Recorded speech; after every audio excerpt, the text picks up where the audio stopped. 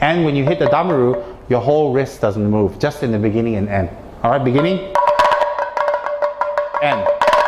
Because there's no other way you can hit it hard if you don't move your wrist unless, I don't know, you got extra fingers.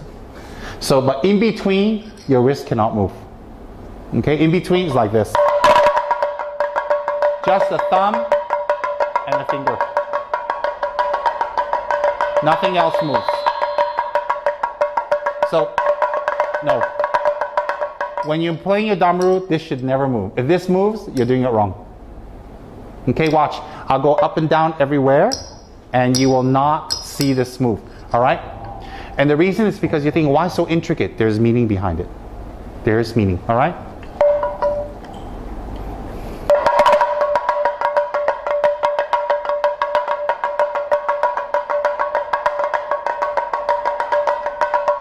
However.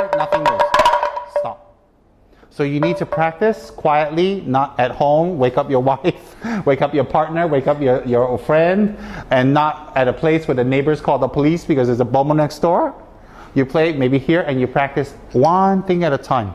All right?